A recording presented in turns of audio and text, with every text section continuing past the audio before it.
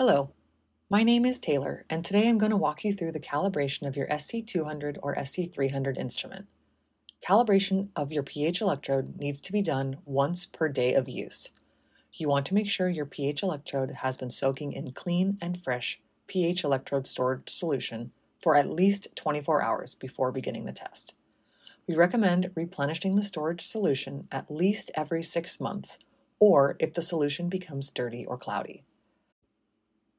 You will need your instrument, pH electrode, pH 4.01, and pH 7 calibration solutions, plus some DI or distilled water in a rinse bottle preferably, and a waste container. Just a side note your pH electrode may or may not look like this one.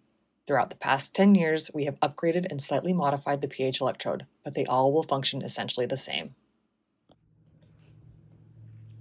First thing to do is attach your pH electrode to the instrument and navigate to cal mode.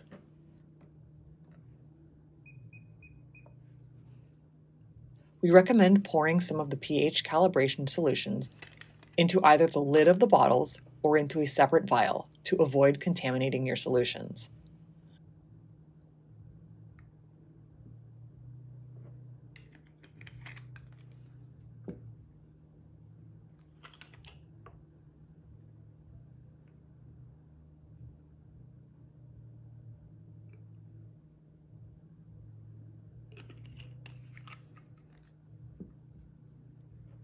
Then remove the pH electrode storage solution vial by gently unscrewing the bottle from the lid.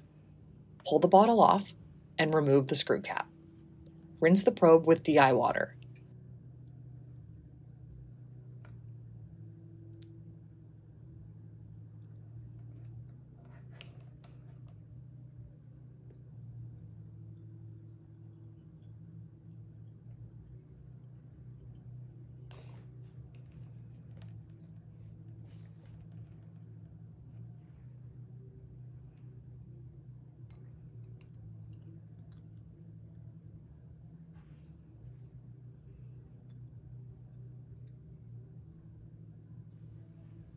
With the new pH electrodes especially, we have found that you do not need to maintain constant movement of the calibration solutions.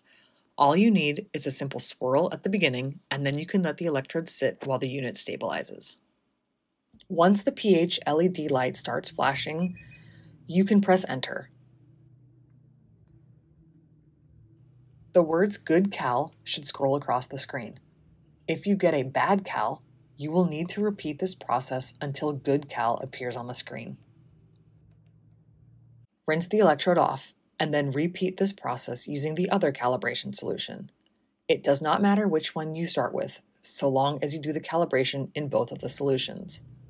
If you want to ensure that your unit is calibrated, go ahead and calibrate it again in these solutions, maybe one or two more times. After this, you can then take your pH reading. When you have finished calibrating, you can go ahead and take your pH reading. If you're not going to be reading your pH, make sure you've rinsed off your electrode and then put the probe back in the solution and screw the vial back together. Then you can disconnect your pH electrode and turn off the instrument.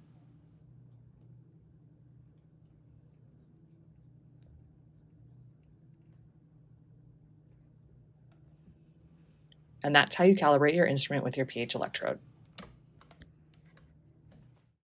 If you are having any issues with calibrating your unit and pH electrode, we recommend looking at our troubleshooting guide on our website under the Support tab.